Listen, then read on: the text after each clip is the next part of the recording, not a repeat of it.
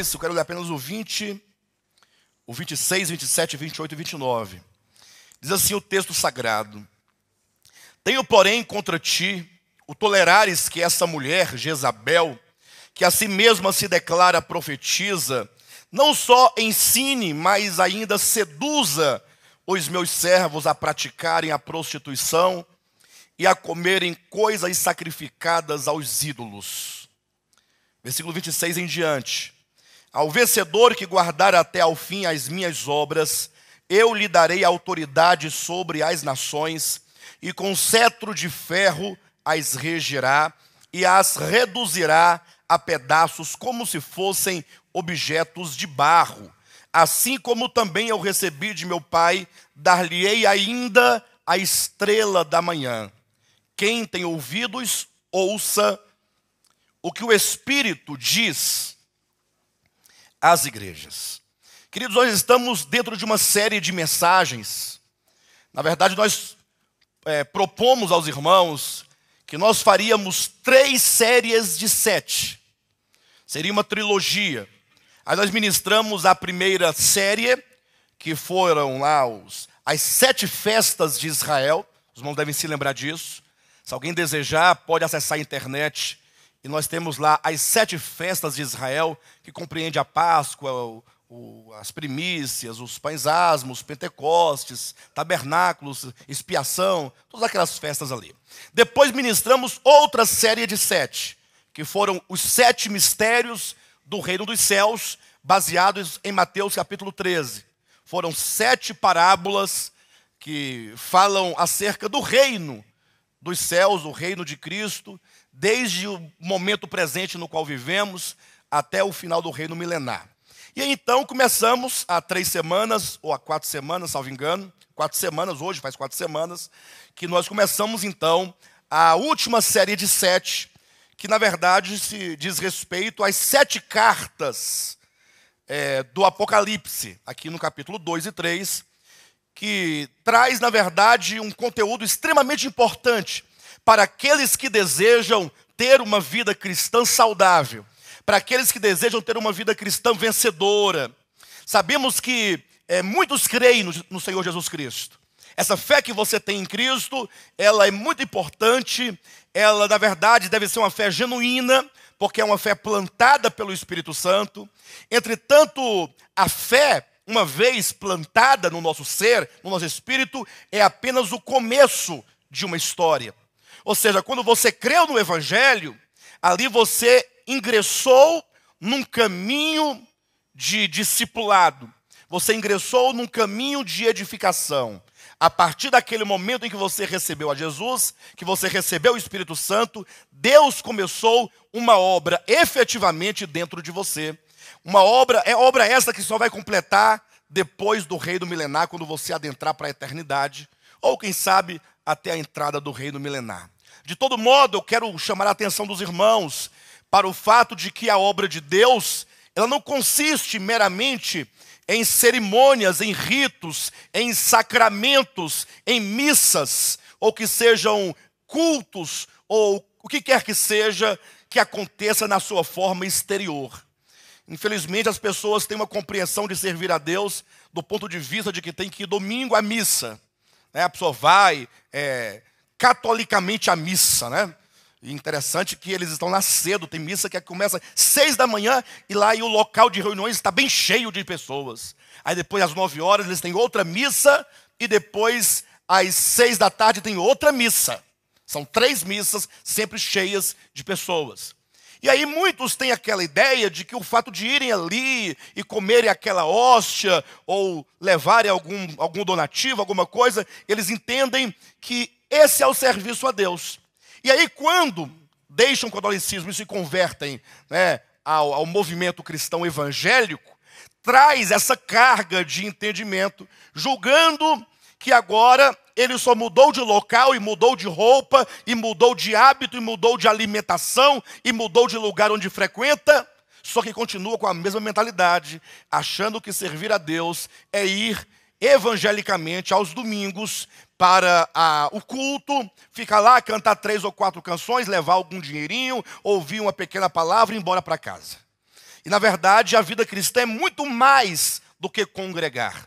Se bem que o congregar, ele faz parte da vida cristã. Ao congregar, a igreja enquanto congregação, e a palavra congregação, se vamos buscar lá no radical grego, verão que é uma reunião de ovelhas. A palavra congregar traz a ideia de reunião de ovelhas. As ovelhas se reúnem então, a palavra congregar, que é um termo bíblico, e a própria palavra igreja, que traz a ideia de reunião, de assembleia, isso o Senhor criou porque é uma necessidade, não exatamente de Deus, mas é uma necessidade, sobretudo, daqueles que estão nesse processo de, é, de edificação, esse processo de desconstrução e construção de uma nova vida, de transformação, de santificação, de conformação.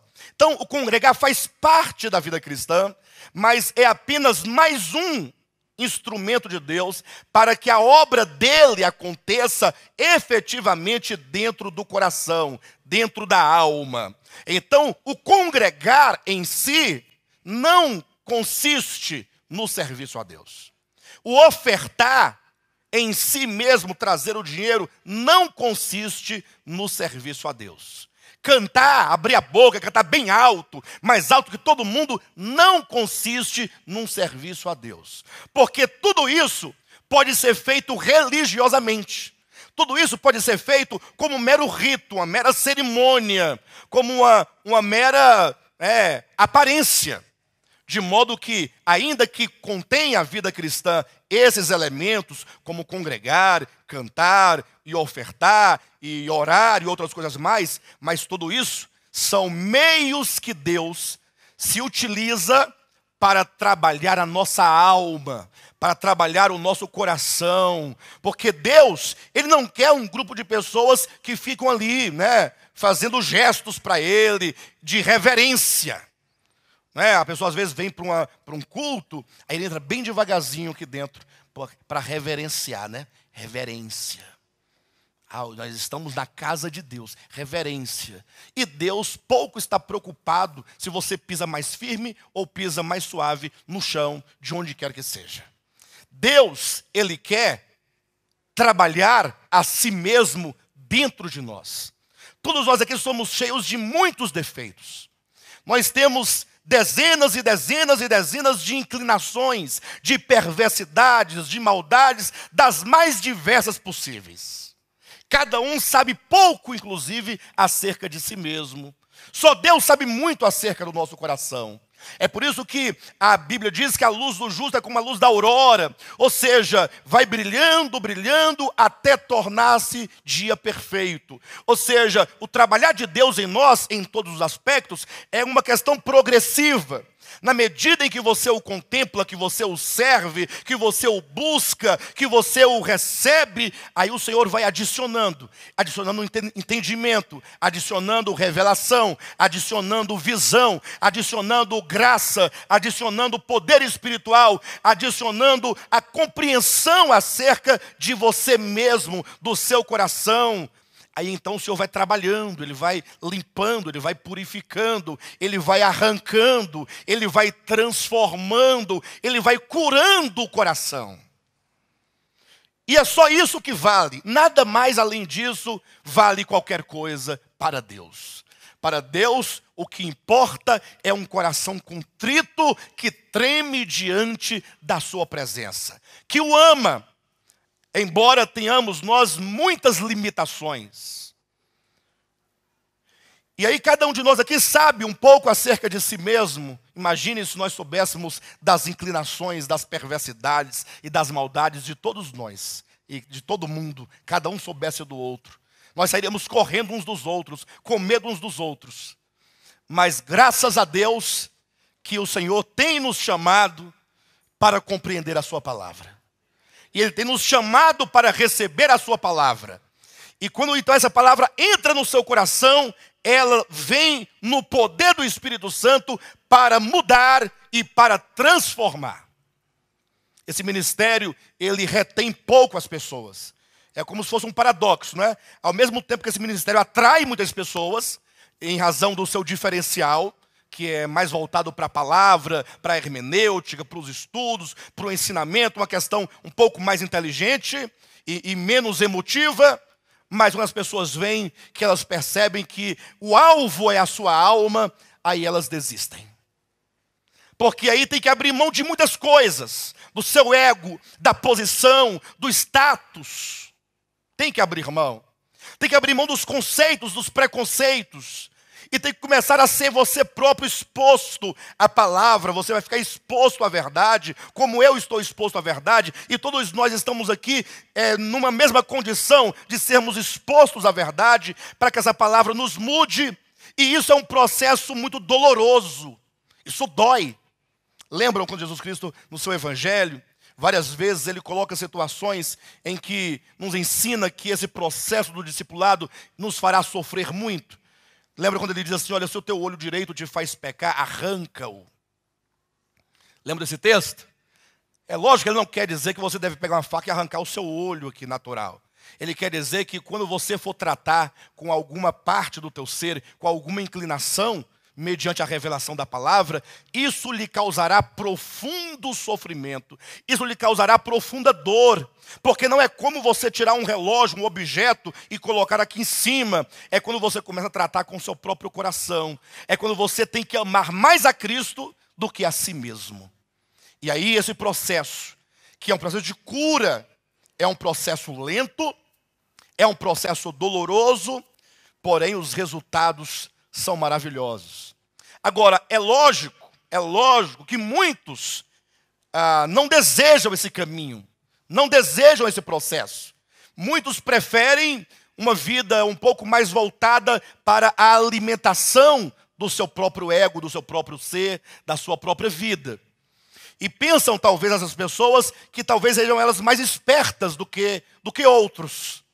Né? Se sentem mais espertas. Não, eu que estou aqui de boa, né? Porque eu estou ganhando a minha vida. Entretanto, todas as pessoas, sobretudo os filhos de Deus regenerados, mais cedo ou mais tarde, passarão por este processo de santificação.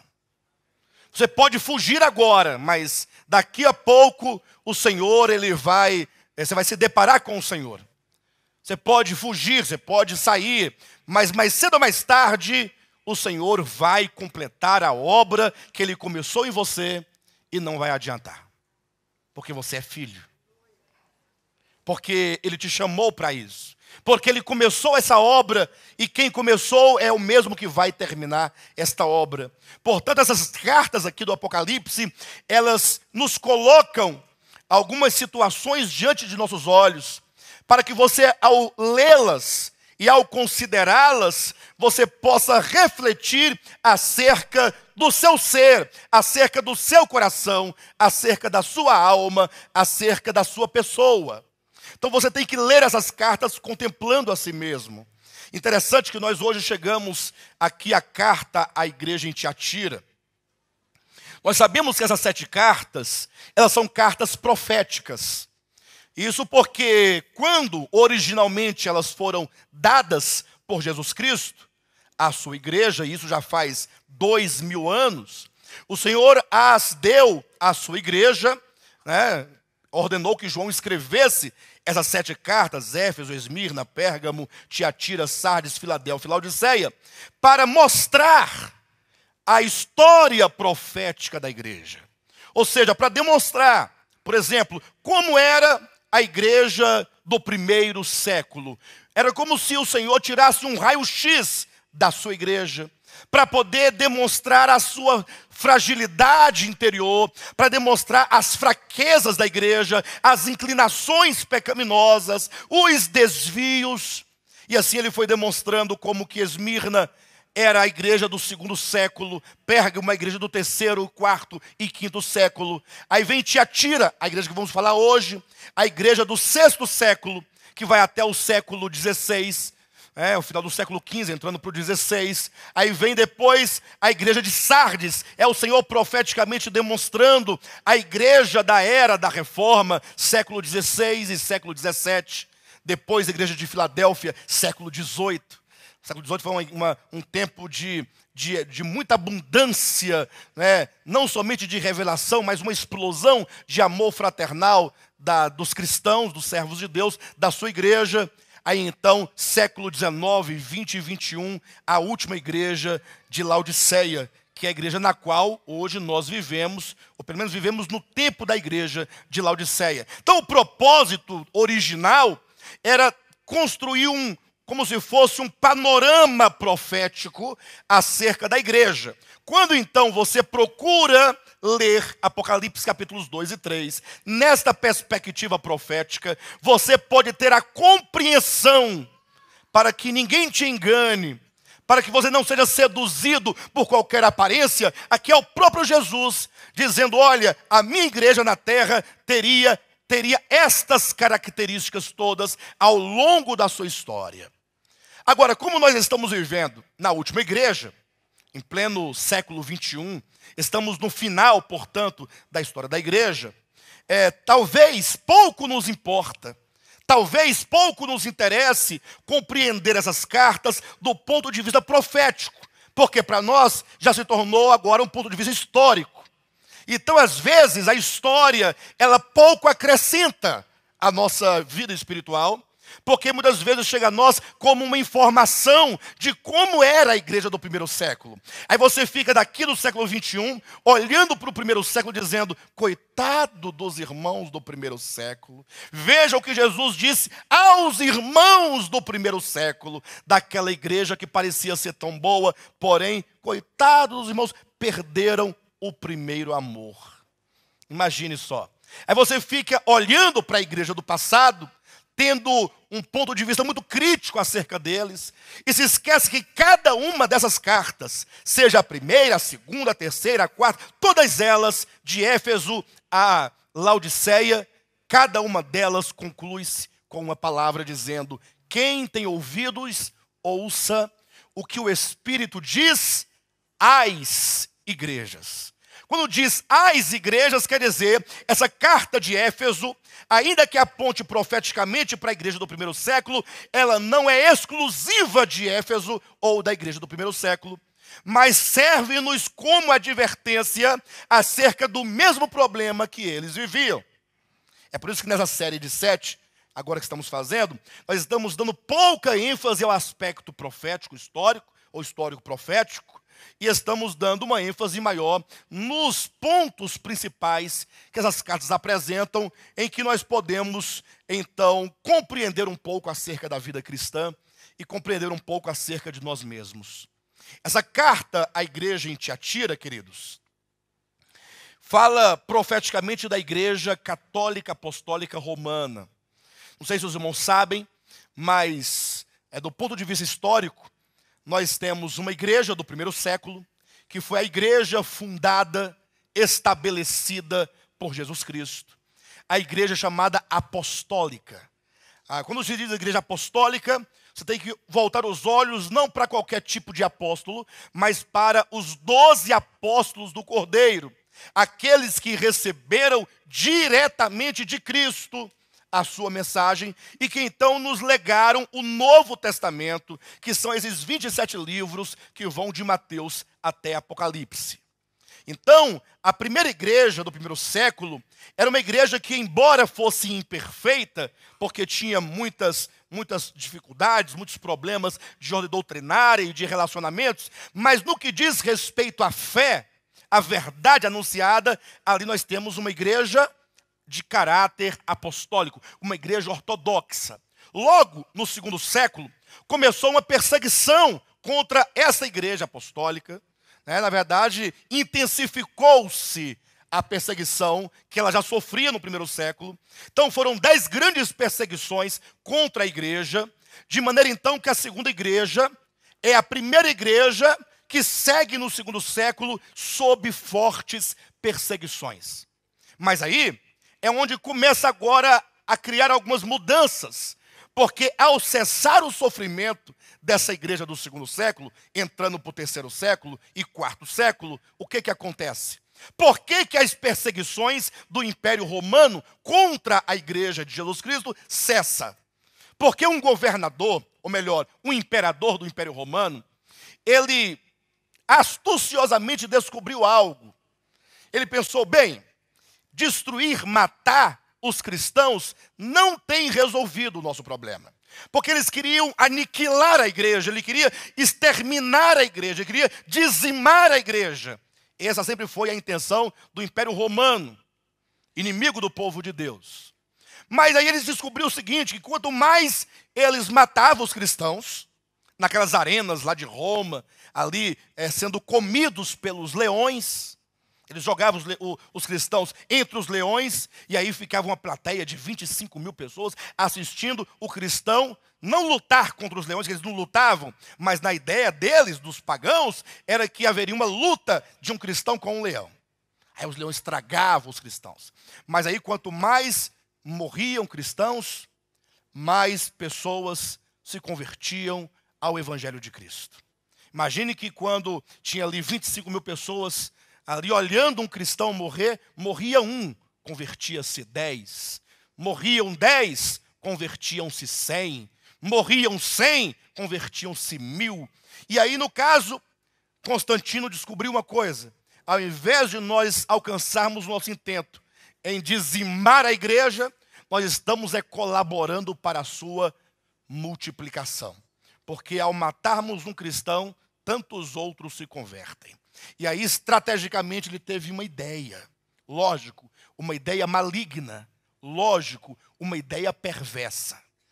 E aqui que nós vamos fazer a transição, né, para o que nós queremos falar hoje. Constantino, certa manhã, acordou dizendo: Tive um sonho. Tive um sonho em que Deus me chamava para me converter ao cristianismo. Aí chega na igreja, fingindo-se agora de convertido, se batiza e ele, na qualidade de um imperador romano, agora como uma pessoa muito importante, e aí eu digo para a igreja: cuidado com as pessoas importantes. Cuidado. Não que as pessoas importantes eles imprimem alguma, algum perigo em si mesmas. Não, são pessoas como as outras. Mas as pessoas importantes no nosso meio ganham importância como todos nós aqui ganhamos, porque somos todos de Cristo. A nossa importância não está no fato de você ser um médico, ser um professor, ser um advogado, ou de você ser uma costureira, um padeiro, ou que seja um pedreiro, ou, ou que seja um senador da República, um presidente da República. Ah, se a Dilma se converter, vai ser a irmã Dilma, mas vai sofrer, vai? Com palavras e mais palavras. Vai ter que tratar com coração. Se bem que dificilmente ela viria para cá. Talvez iria para igrejas onde o poder, onde o status, né, tem alguma vantagem nisso. Templo de Salomão, provavelmente. Quando Constantino então chega na igreja, vocês imaginem só, sabe quem está congregando conosco? Quem? Constantino. Quem Constantino? O imperador de Roma. Quando ele entrava, imagina só os irmãos, todo mundo olhando para ele, admirando é o poder entrando, é a autoridade entrando. Logo, a igreja cedeu a esse, a, a, a esse imperador. Logo, ele tinha nas mãos o poder do Estado e o poder espiritual. Ou seja, a grande intenção dele era usar da própria igreja para fortalecer o seu império, que já estava decaindo já no seu tempo. Já estava em processo de queda. Então ele pensou bem para fortalecer, então eu vou usar o poder do povo. Eu vou usar o poder do cristianismo que está crescendo, que está se multiplicando, e então ele fingiu-se de convertido para poder ganhar esse poder. E aí, quando ele entrou e ele conquista então a igreja, dizem que Constantino se converteu ao cristianismo, mas foi o contrário, foi a igreja que se converteu ao paganismo do imperador romano ou de Roma. De maneira que aconteceu o casamento da igreja com o Estado. Isso aqui é a igreja de Pérgamo. O próprio nome Pérgamo já traz em si mesmo a, a ideia de casamento. Pérgamo né, traz aqui o caminho do casamento. Quando a igreja, então, ela se uniu ao Império Romano e agora, então, ela começa a caminhar e a crescer para se tornar a grande igreja de Tiatira, que seria a igreja medieval, a igreja que iria dominar os reinos do mundo durante mil anos. Agora, em que, que tudo isso nos interessa? Esse é o ponto.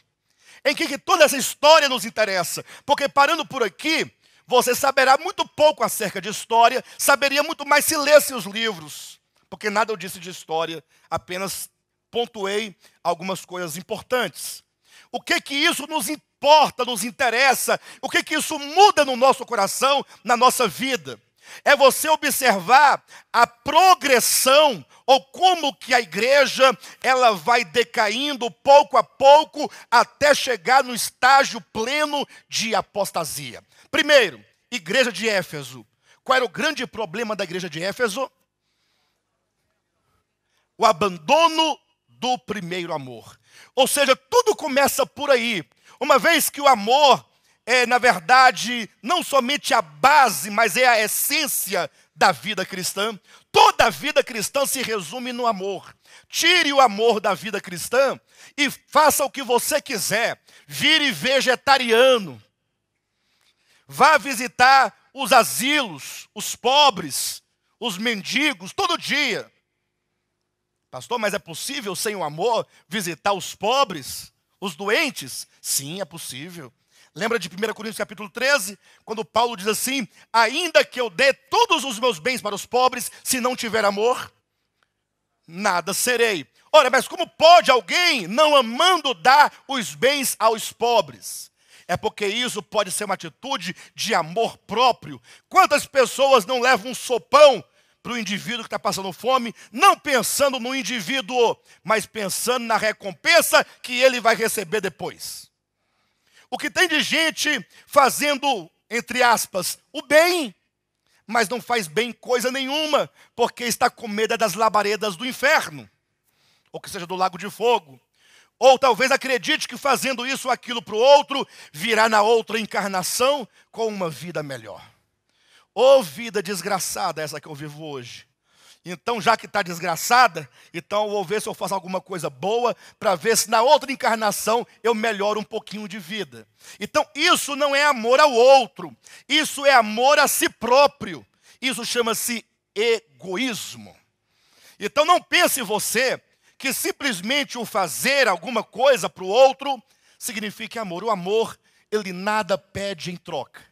O amor, ele nada quer em troca. O amor não olha e não pergunta quem é essa pessoa. O amor apenas se dá, o amor apenas se entrega, o amor apenas, o amor é altruísta, ele vê o outro. De modo que, às vezes eu ouço algumas pessoas dizerem, essa semana mesmo ouvi alguém dizendo, pois é, mas então de que que vale? Porque eu estou sofrendo tanto, eu estou fazendo tanto, eu estou suportando tanto para depois não reinar com Cristo? Aí eu disse: não, você está perdendo tempo, porque não vai reinar mesmo. Porque quem faz tudo isso para reinar, não vai reinar. Porque as obras que nos levam ao reino não são as obras egoístas de quem quer estar no reino por uma questão de exercer autoridade. As obras que nos levam ao reino são as obras de Cristo. Você imagine só alguém dizer assim: olha, eu preciso suportar o fulano porque a Bíblia diz: suportai-vos uns aos outros. Aí a pessoa fica entalada, mas fica calada. Estou suportando. Não é? Eu vou ter que reinar. Se não fosse o reino, eu descia a, a paulada. Mas, como eu quero reinar, então eu vou engolir essa pessoa. É esse o tipo de amor que nós achamos e achamos que isso está agradando a Deus. E a vida cristã consiste no amor, simplesmente porque Deus é amor. Então toda e qualquer degradação da vida cristã começa quando esse amor ele começa a ser corroído, este amor começa a ser suplantado, começa a ser substituído por qualquer coisa que seja. Aí, o homem, inteligentemente, querendo enganar a si mesmo e a Deus, se a vida cristã consiste no amor, isso é tão complicado, Então, ele prefere criar uma religião para Deus e em nome de Deus, que tenha um tanto de coisas lá dentro que possa preencher o tempo e não levar ninguém a considerar que falta o amor. Aí ele cria uma reunião, uma, uma, uma religião de rituais com indumentárias, com roupas, com luzes, com velas, com candelabros. Aí as pessoas ficam envolvidas naquilo, pensando que a vida cristã é cultuar a Deus com essas coisas. E aí fica aquele movimento. Outro grupo pega e cria uma agenda, é, um calendário anual de festividades, de congressos, disso e daquilo, para poder ter um movimento. Tem que estar constantemente trabalhando e fazendo, ainda que não tenham amor, mas dá uma impressão que nós estamos fazendo a obra de Deus. Ou não dá? Janeiro, a festa dos adolescentes. Fevereiro, a festa da mocidade. Março, a festa dos gideões.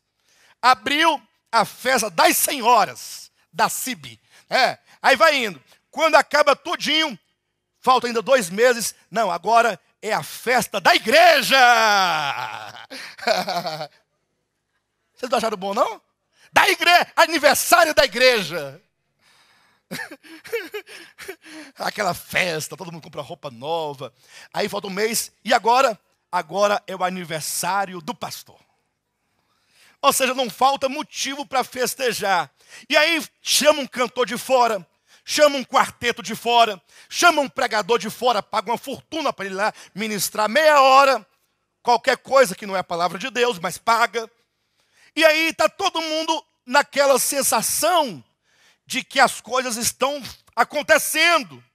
Estamos servindo a Deus, glória a Deus. Vamos para o culto, vamos para o congresso, vamos para o retiro e vamos fazer e acontecer. Mas isso não pode ou não substitui a essência da vida cristã, que não consiste num circo. Não consiste num circo. Infelizmente, eu sei que nós gostamos disso. É lógico que é muito melhor o circo. Tem palhaço, tem mágico que faz desaparecer o dinheiro. Não tem mágico, não? Desaparece nota de 100, de 50, enfim. Tem, tem leão, devora. Mas nós temos entendido pelo Evangelho que as nossas vidas precisam de deixar todo esse ruído, todo esse barulho, todo esse ativismo e toda essa superficialidade, esse sentimentalismo, para podermos colocar nossa vida no trilho da essência de todas as coisas, na essência da verdade, é voltar a Deus. Então, o problema da igreja ao longo dos séculos começou em Éfeso, começou no primeiro século. Ou seja, se a igreja perdeu o primeiro amor, o que, que você espera daqui para frente? Se não há um amor, o que, que você espera dessa igreja? Aí logo em seguida vem o quê? Esmirna. É Deus trazendo as tribulações. Para que, servem as tribulações? Para colocar à prova o seu coração. As tribulações servem para colocar à prova o seu coração. Se você perdeu o primeiro amor, Aí vem as provas. É como que Deus tentando te levar a contemplar a necessidade que você tem de voltar para Ele, de depender dEle e de viver por Ele, para Ele, nele. Mas muitas vezes acontece exatamente o que aconteceu na história da igreja. A igreja foi sofrendo, sofrendo, sofrendo. Se você fizer uma leitura de associação e de continuação de uma igreja para outra, você imagina, a igreja do primeiro século abandonou o primeiro amor. Aí vem a segunda igreja. Será que essa igreja tem condições de vencer as tribulações? Será que alguém cujo amor já não há, ela pode passar por provações e vencer? Eu pergunto, o que que nos levaria a sofrer em completa submissão ao Senhor, fazendo uso do sofrimento por amor a Ele, se não for o amor. Capítulo 2, versículo 6 fala acerca das obras dos nicolaítas. No versículo 15, os irmãos encontram aí a doutrina dos nicolaítas. Observa só a progressão até chegarmos na igreja de Tiatira. Preste bem atenção nisso. Já na igreja de Éfeso, do primeiro século, não havia a doutrina dos nicolaítas. Havia o quê? As obras. Ou seja, não havia sido estabelecida doutrina, é, como doutrina, mas havia a prática. Talvez alguns estivessem ali não é, semeando e praticando o nicolaísmo, mas não era uma coisa estabelecida. Já em Pérgamo, essa prática do primeiro século se tornou o quê? Doutrina. Agora, aquilo que outrora era apenas praticado, agora se transforma em doutrina. E aquilo que outrora era obra e que se tornou doutrina, em Tiatira se torna um sistema. Pastor, mas que são as obras do Nicola, dos nicolaítas? O que é a doutrina dos nicolaítas? O que é o sistema dos nicolaítas? Simples, a palavra nicolaíta é, são duas palavras que significa aquele que vence o povo, aquele que subjuga o povo, aquele que está sobre o povo. Ou seja, há uma tendência desde o primeiro século, e isso em razão do ministério apostólico de Jerusalém. E eu vou explicar para os irmãos entenderem bem. O ministério apostólico de Jerusalém falhou. Falhou quando? Falhou quando não expulsou de dentro da igreja o judaísmo. Como o judaísmo estava impregnado na igreja do primeiro século. Leiam o livro de Atos. Vocês vão perceber como que Tiago, que era um dos principais de Jerusalém, ele morria de medo dos irmãos cristãos que eram chamados os fiéis da circuncisão. Imagine só que os fariseus, alguns fariseus se converteram a Cristo. Mas imagine só um fariseu convertido, gente, a Jesus Cristo. Lógico, filho de Deus, só que ele é fariseu, ele tem espírito de fariseu, ele tem coração de fariseu, ele tem cara de fariseu. E ele não vai abrir mão do judaísmo, pelo menos por enquanto. É lógico que ele vai, por fim, abrir mão do judaísmo, mas ele vai sofrer muito. Deus tem que trabalhar muito nele, quebrantar, quebrar a coluna, para ele poder se render completamente a Jesus Cristo. Mas imagine que depois veio é, um ancião do judaísmo. Imagine quando se converteu o sumo sacerdote. O sumo sacerdote com aquela barba desse tamanho.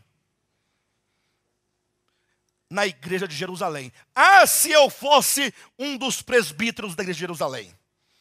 Eu ia descer a pancada nos fariseus, nos escribas, nos anciãos, nos sumos sacerdotes que quisessem trazer o judaísmo para dentro da igreja. Tiago, ele não tomou esse posicionamento.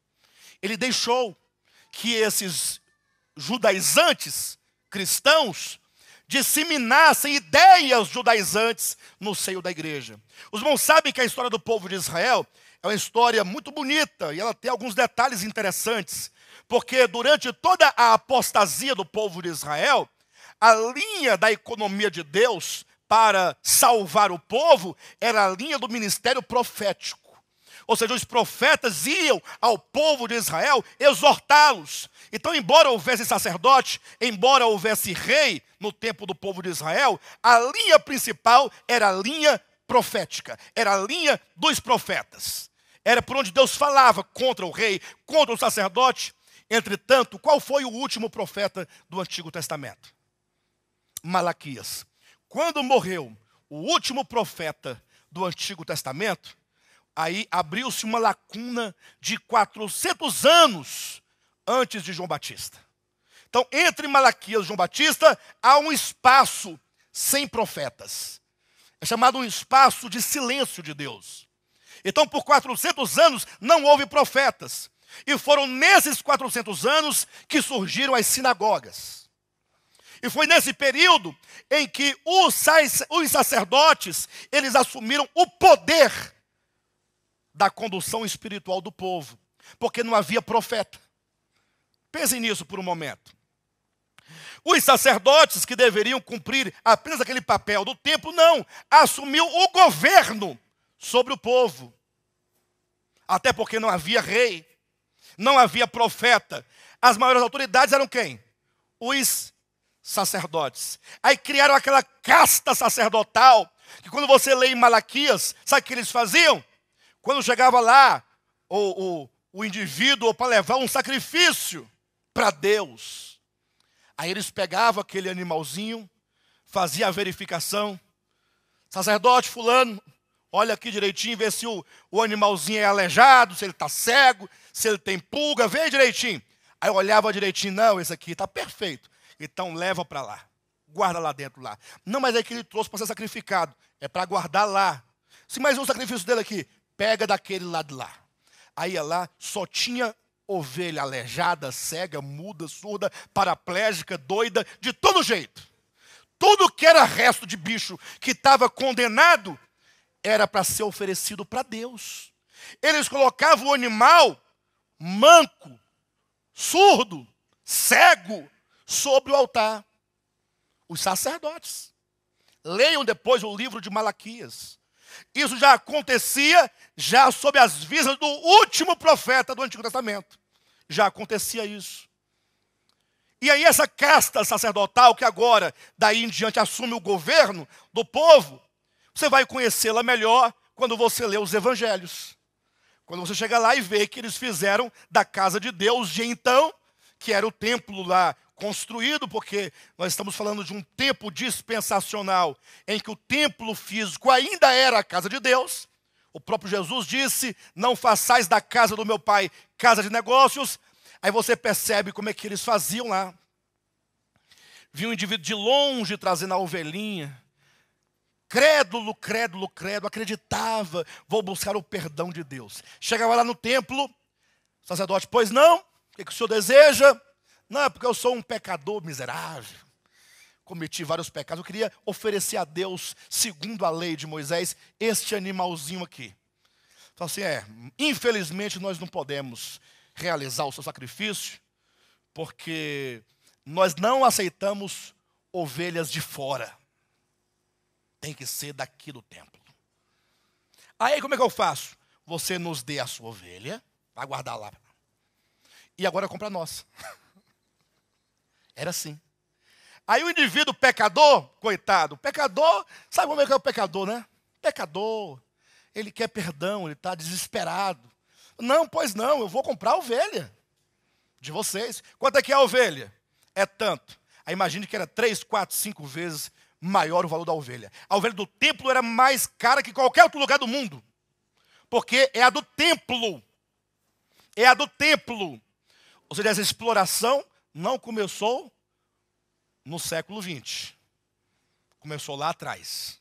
Bem lá atrás.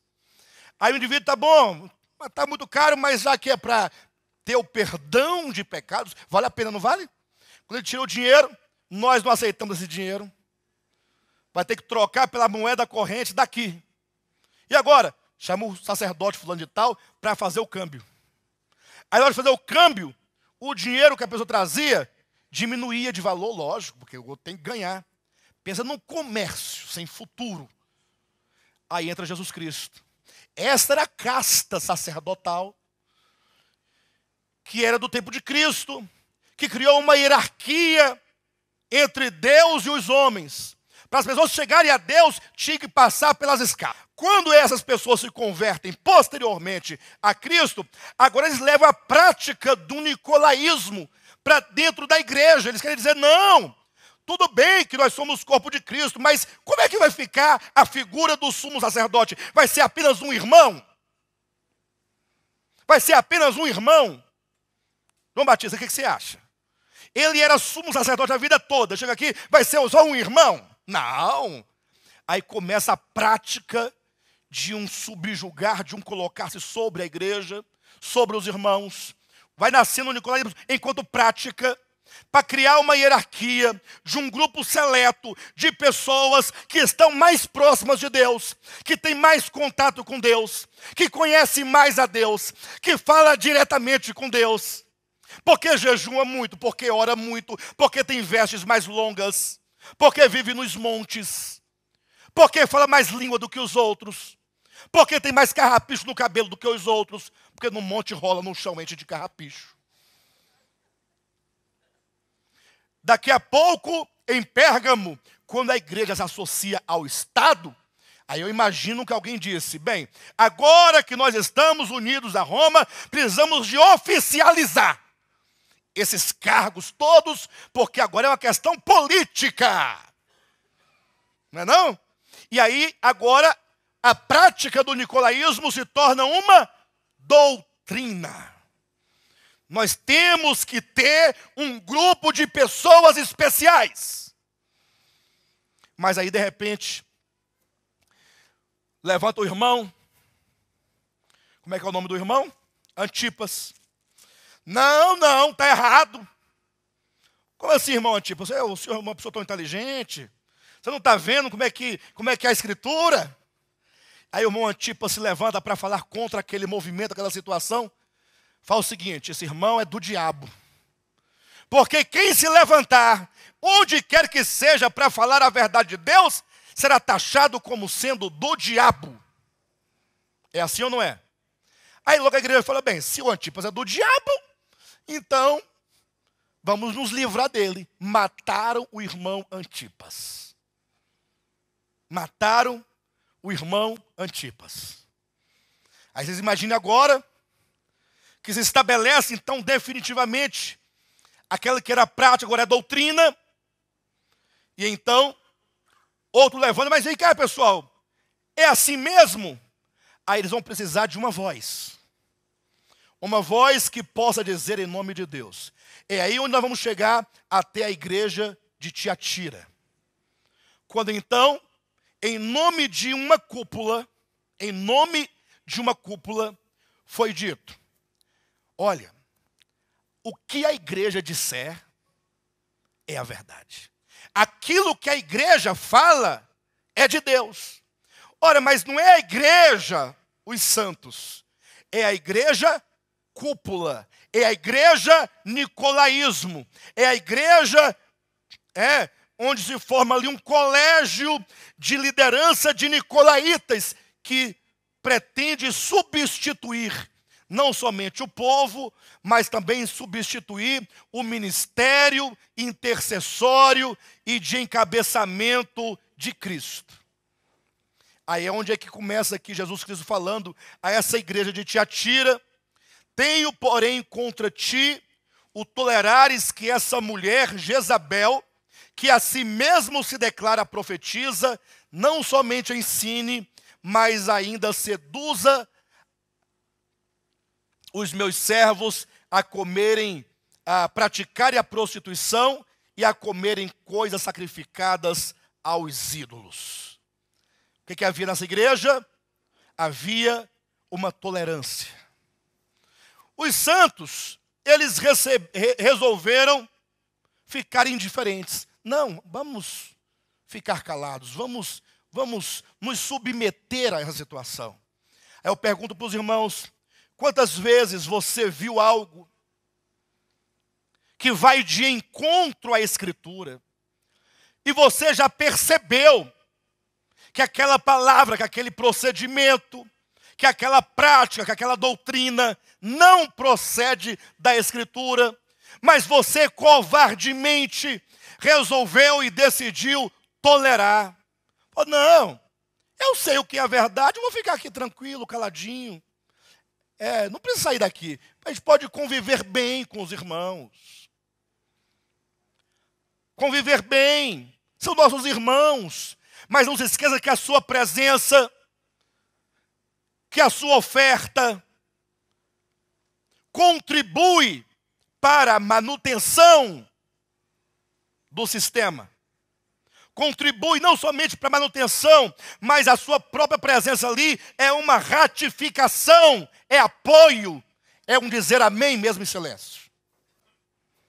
A Bíblia diz que esses irmãos, eles toleravam, tenho, porém, contra ti, o tolerares que esta mulher, Jezabel, que a si mesmo se intitula, ou a si mesma se declara profetiza. Ou seja, essa Jezabel, que é uma Jezabel profética e simbólica, ela se autodeclara profetiza. Irmãos, profeta é uma coisa séria. É de uma gravidade muito grande. Afinal, o que, que é o profeta? Ora, é aquele que fala por Deus. Então, se o Josué é profeta, você imagine que Deus mandará a nós uma mensagem por intermédio dele. Agora, e se ele mentir para nós? Hã? E se ele mentir para nós? Olha quão grave é a questão do ser profeta, ou do ministério profético. E aí logo se anuncia uma grande tendência ao longo da igreja: aqueles que a si mesmo se declaram profetas. Está aqui. Esta mulher, Jezabel, que a si mesmo se declara profetisa. Quando a Escritura diz a si mesma se declara, quer dizer, Deus não a constituiu profeta. Deus não autorizou que ela profetizasse. Deus não a enviou para que profetizasse. Deus não deu a sua palavra a essa que se autodeclara profetiza. E, portanto, quem se autodeclara profeta só pode ser um falso profeta. Olhe esse texto da Escritura, abra sua Bíblia em Jeremias capítulo 17, capítulo 14. Versículo 13. Observe só um exemplo de falso profeta. Observe como Deus fala acerca dos falsos profetas. Diz assim: Então disse eu: Ah, Senhor Deus, eis que os profetas lhes dizem. Isso aqui é o profeta Jeremias dizendo a Deus. Jeremias era um profeta de Deus, era homem de Deus, falava a palavra de Deus. Só que em Israel é, em Judá, não havia apenas Jeremias de profeta, havia muitos profetas. Jeremias era apenas um dos profetas. Só que a palavra de Jeremias era diferente das dos demais profetas. Jeremias dizia uma coisa, todos os outros diziam o contrário. Mas já imaginou? Imagine você lá, lá em Jerusalém, lá, lá em Judá, numa tribo de Judá, ou no reino de Judá. Imagine você no meio do povo, aí tinha lá tantos profetas dizendo uma coisa. Do outro lado aparecia um profeta dizendo: está tudo mentindo. Deus fará é isso. Eu pergunto, segundo a sua inclinação natural, em quem é mais fácil confiar? Nos muitos ou no pouco? Ah, é, alguns diziam assim: quer dizer que então só Jeremias que está certo? Ah, Hã? É a democracia profética, né? Então você quer dizer então que Deus revelou só para Jeremias e não revelou para os outros também? Ah, bobagem. Aí Jeremias se sentindo em dificuldade, porque tudo que Jeremias falava era o contrário do que os outros falavam, foi orar a Deus, para Deus falar alguma coisa para ele. Então disse eu, Jeremias disse a Deus: Ah, Senhor Deus, eis que os profetas lhes dizem, ou seja, os profetas dizem ao povo: Não vereis espada, nem tereis fome, mas vos darei verdadeira paz neste lugar. Deus mandava Jeremias profetizar o cativeiro. Olha, Deus vai levar vocês escravos para a Babilônia vocês vão ser destruídos, e será feito escravo de Babilônia. Aí vinham os 500, dizendo, assim diz o Senhor Deus: Deus não trará espada, Deus trará paz. Basta que vocês tragam as ofertas ao altar. A Jeremias foi reclamar com Deus. Deus, eles estão dizendo que não vai ter espada, vai ter paz. Olha a resposta de Deus no 14. Disse-me o Senhor: os profetas profetizam a verdade em meu nome. Eu os enviei. É isso? Não? Deixa eu olhar aqui direito. Cadê a luz? Vamos ler corretamente. Disse-me o Senhor: os profetas profetizam mentiras em meu nome. Aí alguém fica escandalizado, mas como? Alguém tem coragem de profetizar mentira no nome de Deus? Tem, está aqui, ó. Eles profetizam mentira em meu nome. Usam o nome de Deus para mentir. Eles, os profetas profetizam mentiras em meu nome, nunca os enviei. Olha, nunca. Ou seja, nunca houve um tempo em que eles foram meus profetas e agora não são mais. Ou seja, nunca foram. Ora, mas eu sempre conheci ele como profeta de Deus. É, mas é porque se autodeclara profeta. Nunca os enviei, nem lhes dei ordem, nem lhes falei. Ah, Senhor, se o Senhor não enviou, se o Senhor não falou, se o Senhor, né, não deu nenhuma ordem, então de onde vêm as profecias que eles falam? Aí Deus vai explicar. Versículo 14 no finalzinho. Visão falsa, adivinhação, vaidade e o engano do seu íntimo são o que eles profetizam. Os irmãos já perceberam isso? Eu quero ressaltar aqui algumas coisas interessantes. Olha o que diz o texto: visão falsa. O que é uma visão falsa? Houve visão? Não houve? Houve ou não houve visão?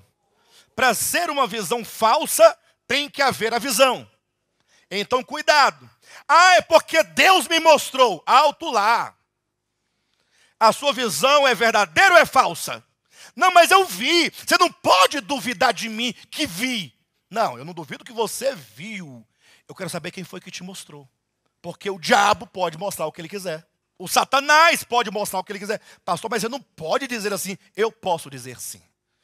Lógico, eu não posso acusar alguém em particular dizendo que foi o diabo que fez. Mas eu posso afirmar que isso é possível porque aqui está dizendo a Bíblia que existem visões falsas. E a visão falsa, portanto, não pode ser de Deus. Se não é de Deus, é do diabo. Então, cuidado, porque tem muita profecia que procede de visão falsa. Daqui a pouco eu vou dar a chave para os irmãos. Perfeito? Para os irmãos descobrirem quando é falsa e quando é de Deus. Tá bom? Aí diz mais: adivinhação. Adivinhação existe? Adivinhação existe? Pastor, é porque eu fui na casa da irmã Fulana, ela disse tudo. Eu fui no culto da tarde em tal lugar e o pastor disse tudo, ele adivinhou até onde é que estava o caroço. A região do caroço. Ele adivinhou que eu não durmo de noite. Você vê a pessoa de olheira, logo você percebe, né? Hum, não está dormindo bem esse indivíduo.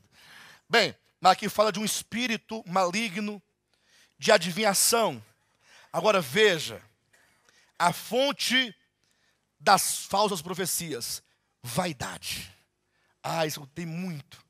Vaidade. A pessoa, ela quer falar algo, porque o seu coração reclama que ela tem que ser chamada profeta, reclama é a vaidade do seu coração. Porque não quer ser apenas um irmão.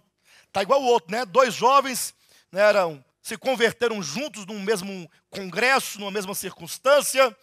Aí depois nunca mais eles se viram. Depois de 20 anos se reencontraram.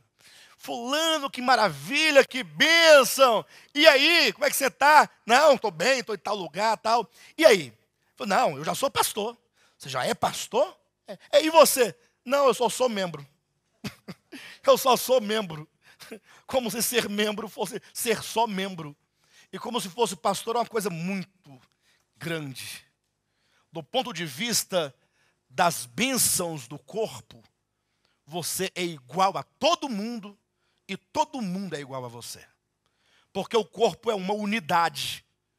Até mesmo aqueles membros que têm maior expressão no corpo, eles vivem para o corpo, são servos do corpo e visam o bem-estar do corpo. Portanto, essa questão da vaidade, isso tem que ser tratado. A vaidade é um dos problemas também. E aí diz agora o último, e este eu vou falar para os irmãos, viu, irmãos? Talvez é o que mais tem, porque até adivinhação e falsa visão está escasso O diabo não anda mostrando muita coisa para ninguém, não. Está muito difícil. O diabo tem mais o que fazer. Ficar inventando as coisas. Agora, o que vem por último, isso pega. O que tem de gente se autodeclarando profeta, entregando o recado, movido, talvez nem por vaidade, mas pelo engano do seu íntimo. O engano do seu íntimo.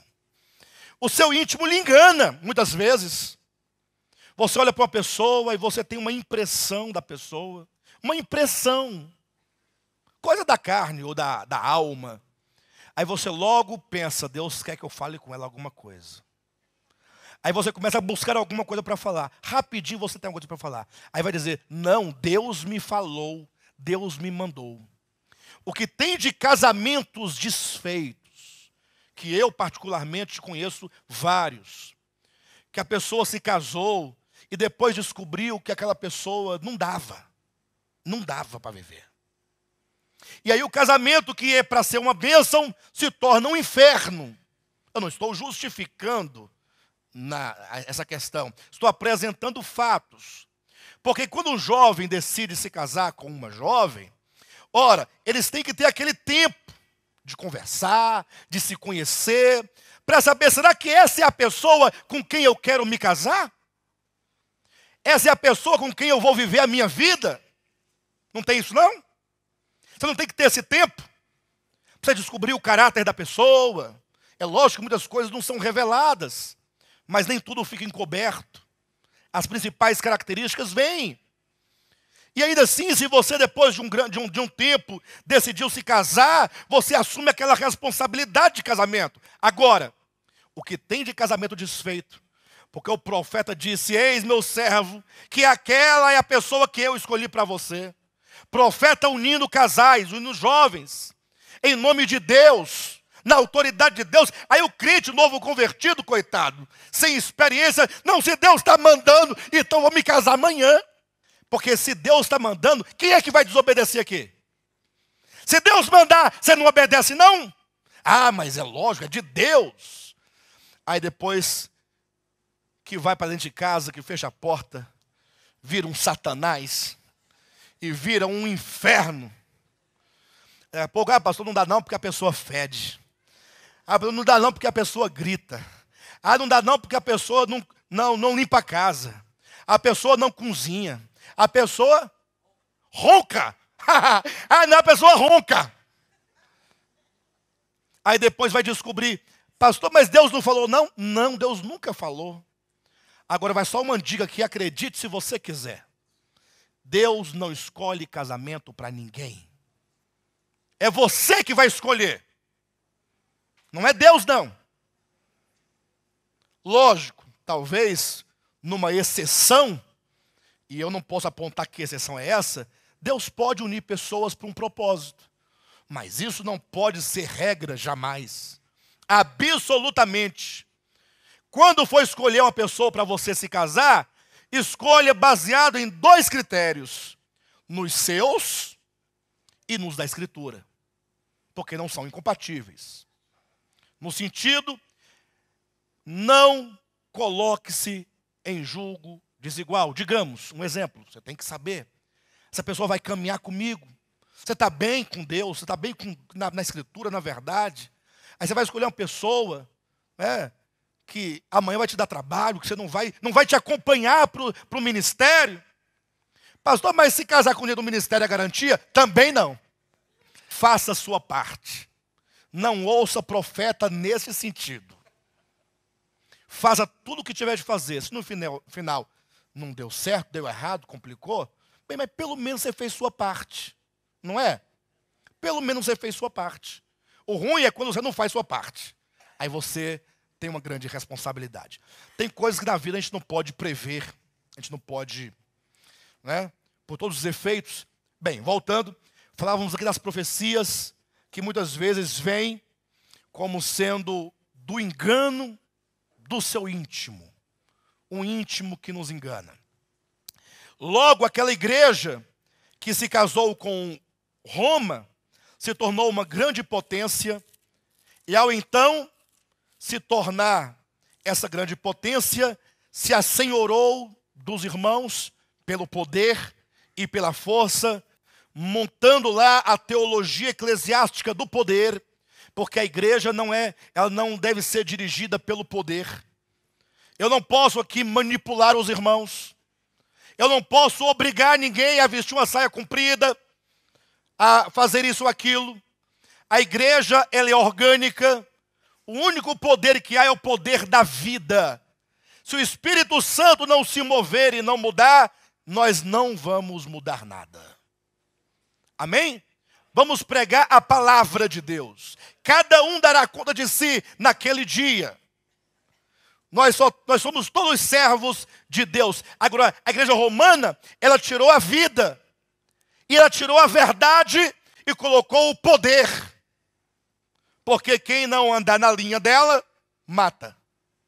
Isso aconteceu durante toda a Idade Média.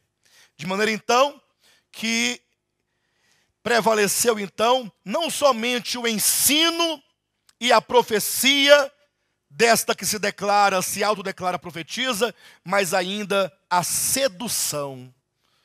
A sedução, o ensino e a profecia, quando na verdade a igreja deveria seguir a palavra de Deus. Sabe quando é que nós somos é, ganhos pelas falsas profecias, pelos falsos ensinos? Quando deixamos de ouvir a Escritura. Atente para o que eu vou dizer para os irmãos agora, neste momento. Pensa comigo por um momento. Muitas vezes nós somos seduzidos pelos milagres. Porque Jesus fez milagres. Os apóstolos fizeram milagres. E agora você vê alguém fazendo um milagre, ou pelo menos um suposto milagre. Aí você fala: não, Deus está aqui, porque Jesus fez milagre, os apóstolos fizeram milagres, e aqui tem alguém fazendo milagre. Então há uma continuidade. Vamos fazer, vamos ficar por aqui mesmo. Os irmãos sabem por que Jesus fazia milagres? Sabiam por quê? A própria Escritura explica para nós. Imagine só que havia lá um certo, uma certa pessoa chamada Jesus. E olha que na época de Jesus havia várias pessoas chamadas Jesus. Quando você ouve o nome Jesus, você lembra de quem? De Jesus. Quando você vê uma pessoa chamada Jesus, quem já viu?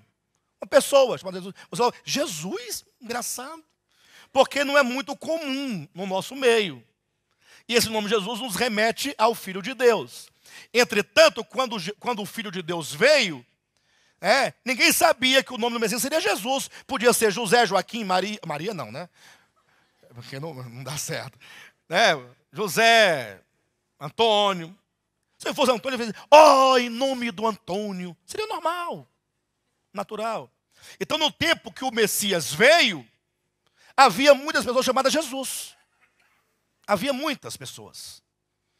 Então agora a este foi dado o nome de Jesus. Só que ele era um homem que nasceu, viveu e cresceu no meio das pessoas.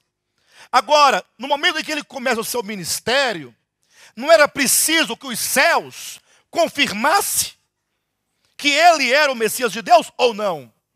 Então, os milagres realizados por Jesus, na sua maioria, salvo engano, me recordo apenas de um, que Jesus deve tê-lo feito por uma simples comoção do seu coração, sem o objetivo de que aquele milagre fosse um sinal. Seria, no caso, a ressurreição da filha, do filho da viúva de Naim. Quando Jesus foi entrando na cidade de Naim, que viu aquela mulher saindo da cidade com seu filho único morto, e ela sendo uma viúva, Jesus pensou: poxa, mais uma viúva. Já perdeu o marido, já está complicado. Agora perdeu o único filho. Aí Jesus se comoveu, mandou parar e ressuscitou aquele menino.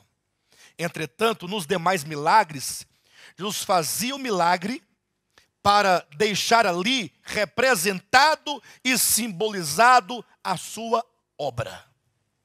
O milagre visava é, constatar que a sua palavra pregada estava sendo ratificada pelos céus e, portanto, os sinais serviam de, os milagres serviam de sinais para demonstrar que Jesus era o Filho de Deus. Foi isso que João disse no seu Evangelho. Jesus fez muitos outros milagres. Eu, todavia, ao escrever este Evangelho, coligir estes, para que vocês saibam que Jesus é o Filho de Deus. Os milagres no tempo de Cristo não era para todos. Quantos não morreram no tempo de Jesus? Mas a quantos ele ressuscitou? Tem gente que pensa assim: ah, se eu tivesse o poder de ressuscitar, eu ia para o cemitério ficar ressuscitando. Bora, bora. Brincando de ressuscitar. Não. Jesus ressuscitou a Lázaro, a filha de Jairo, o filho da viúva. Quem mais? A menina. Não é filha de Jairo, não? A filha de Jairo. Bem, é o que me recordo. E os outros mortos do tempo de Cristo? Morreram. Quantos cegos de nascença havia no tempo de Cristo? Cego de nascença, quantos? A quantos ele curou? Ou pelo menos nós temos o registro de um. É? Enfim, de todo modo, os milagres de Cristo visavam, então, é, representar, simbolizar, demonstrar, ratificar que Jesus era o Filho de Deus. Agora imagine que Jesus morreu, foi crucificado entre dois ladrões. Quem passasse viria o quê? Três ladrões. Ou não? Os ladrões eram, eram mortos por crucificação. Está lá, Jesus e dois ladrões, então, passava por ladrão. Ele foi morto como um maldito de Deus. Aquele que morria à morte de cruz era maldito. Agora imagine que depois tiraram aquele corpo, sepultaram, colocaram a pedra. Três dias depois, aparecem os discípulos. Pessoal, temos uma novidade. Ah, é qual? Lembra de Jesus? É lógico, todo mundo viu. Que morreu crucificado? Sim ele ressuscitou. Aí, cadê ele? Não, nós estivemos com ele, batemos um papo, inclusive, fizemos uma refeição, mas já foi para o céu. Sim, mas e aí? Aí que ele ordenou a vocês que se arrependam e que o sigam. Ah, você está com uma conversa fiada, rapaz. Isso é bobagem.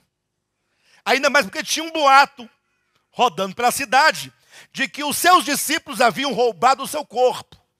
Não havia? Aí Jesus então aparece para os discípulos e fala: Olha, vocês devem pregar que eu estou vivo. Olha aqui, toca em mim.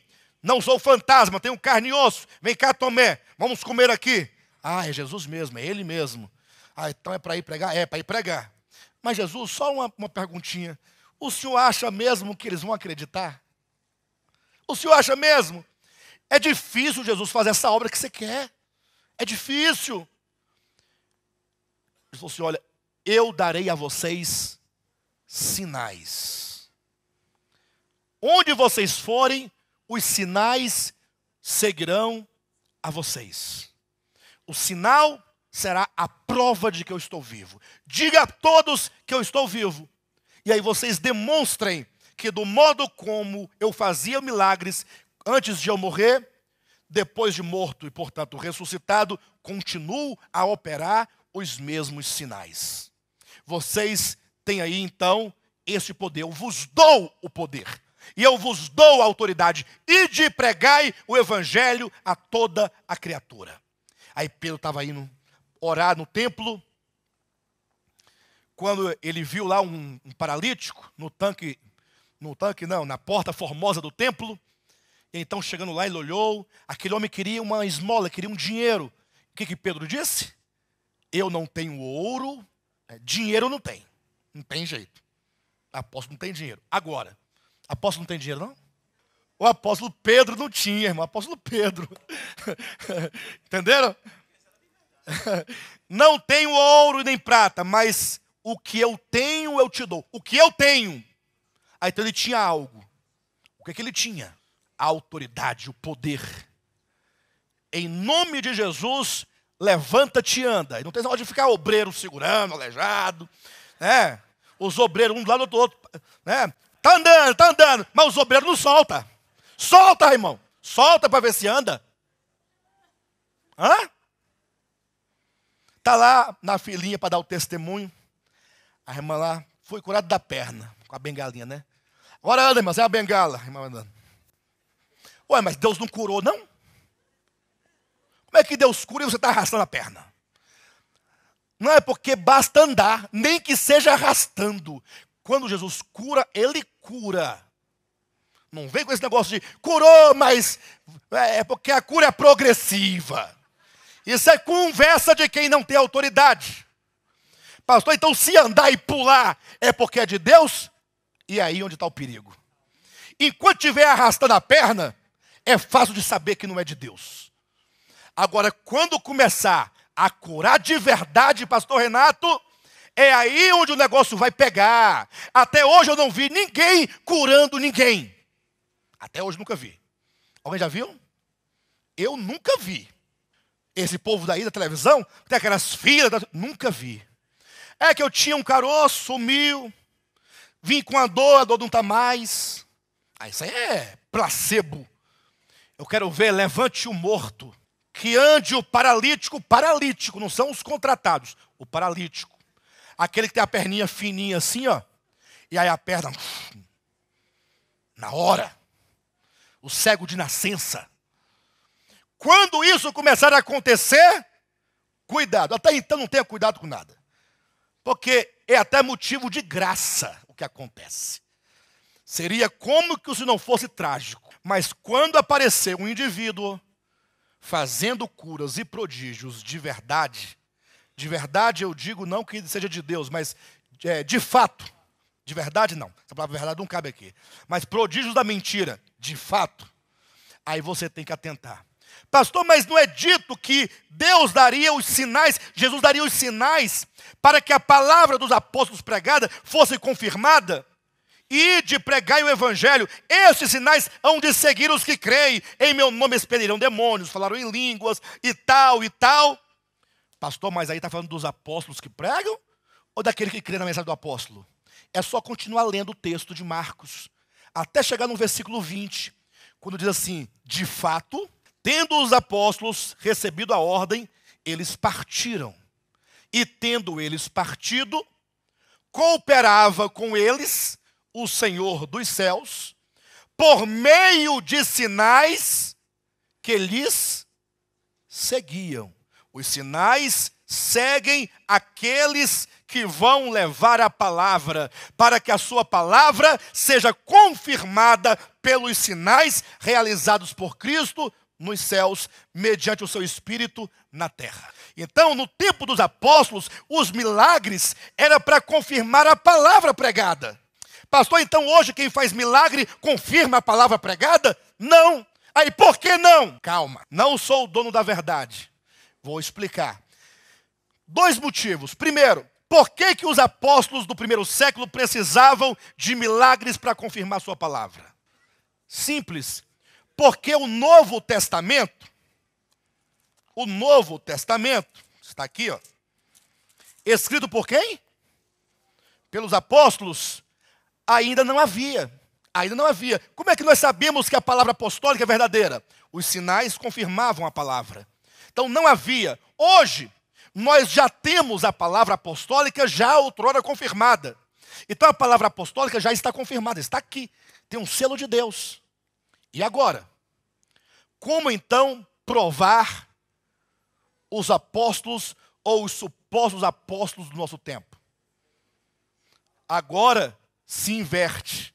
Se no primeiro século o sinal comprovava a palavra, hoje a palavra há de confirmar ou não o milagre. Veja na sua Bíblia, primeira epístola de João, capítulo 4, vou ler apenas o versículo 1 e o versículo 6.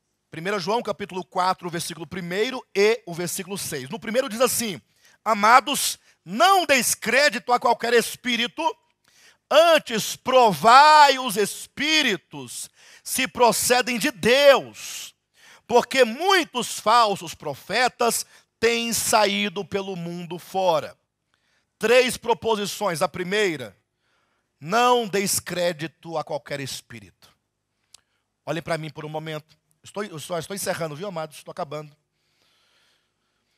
Você dá crédito a qualquer espírito? Fala a verdade. Fala a verdade. Se houve uma palavra, pastor, me socorre, porque a profeta falou assim: para de bobagem, para. Se me ligar para falar de profeta, é bobagem. Bobagem. Liga chorando, desesperado. Pastor, encontrei com a. Fu... Para, para, não chora. Vamos ler a palavra. Não é? Eu vou te trazer para a palavra, eu não vou te entregar outro recado para confirmar. Que o povo é assim: houve uma profecia aqui, aí procura outro profeta para confirmar. Está é, confirmado. Amém. Então, daqui, primeiro, não deis crédito, é uma ordem, a qualquer espírito. Dois, segunda ordem, provai os espíritos se procedem de Deus. Certo ou não? E aí vem uma explicação. Mas por que essa precaução? Por que não dar crédito e por que colocá-lo à prova? Porque muitos falsos profetas têm saído. Em outras palavras, o mundo está cheio de falsos profetas. No tempo de João, hein? 20 séculos depois, ixi, isso é igual praga. Isso é igual rato. É igual rato. Todo dia nasce 500, mil, numa ninhada só. É. Não deis crédito, provai os espíritos, porque a ninhada, ó. Aí o versículo 6 nos ensina como colocá-lo à prova. E esta é a chave para você saber se aquele que faz o suposto milagre ou aquele que faz um milagre, se é de Deus ou não. Nós, versículo 6, somos de Deus. Nós quem? Aparece qualquer um, pessoal, nós somos de Deus. A Bíblia diz que nós somos de Deus. O que você acha? É isso? Esse nós aqui, de acordo com o texto ou com essa epístola, você vai verificar lá no versículo, no capítulo 1, versículo de 1 a 4. Esse nós aqui somos, é, são nós os apóstolos. Nós, os apóstolos do primeiro século, que receberam de Cristo a sua palavra e cuja palavra foi confirmada por meio de sinais. Os apóstolos são de Deus, aqueles do primeiro século. Mas não tem muito sério no mundo em nome de Deus? Aí ele diz: aquele que conhece a Deus nos ouve. Você pergunta para o pastor Beltrano, pergunta para o apóstolo Fulano, para o bispo Ciclano, pergunta para o bispo. Assim, você conhece a Deus? O que, que ele vai dizer? Eu conheço a Deus. Aí você vai perguntar, mas você ouve os apóstolos? Lógico. Então vamos sentar e eu vou ler a palavra apostólica para saber se você ouve. Se aquilo que os apóstolos disserem, vocês atentarem e pregarem, então vai ser um teste. Aí isso é uma prova de que vocês são de Deus. Para saber se é de Deus, é assim, ó aquele que ouve os apóstolos, aquele que conhece a Deus, nos ouve. Aquele que não é da parte de Deus, não nos ouve. Quem tem dúvida disso? Se é da parte de Deus, ouve Mateus, Marcos, Lucas, João, Atos, Romanos, Coríntios, Efésios, Gálatas, Filipenses, Tessalonicenses, até o final. Ouve a palavra apostólica. Pastor, mas e se não ouvir? Não é de Deus. Aquele que não é da parte de Deus não nos ouve. Ponto. Nisto, nisto o quê? Em ouvir ou não ouvir. Nisto reconhecemos o espírito da verdade, do espírito do erro. Amém? É assim que se reconhece. Muito simples. Se você tiver dúvida com alguém, traga ele aqui que nós vamos fazer o teste. Ou então me chame que eu vou lá fazer o teste. Eu sou especialista em fazer teste. Especialista. É de Deus? Amém, é de Deus. Ouve, a, a, a, ouve, amém. Mas vamos aos testes. Aí fica simples. Irmão, você não lê dois versículos, dois versículos não é dois capítulos, versículo, já acabou, o espírito do erro já se manifesta. Aí você pode mandar sair que ele sai. assim, da sua casa, sai daquele ambiente. Dificilmente ele sai do corpo. Tá bom?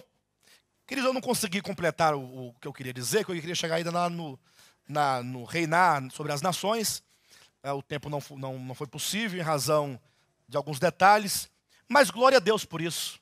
Amém? O importante é que nós estamos sendo instruídos na verdade.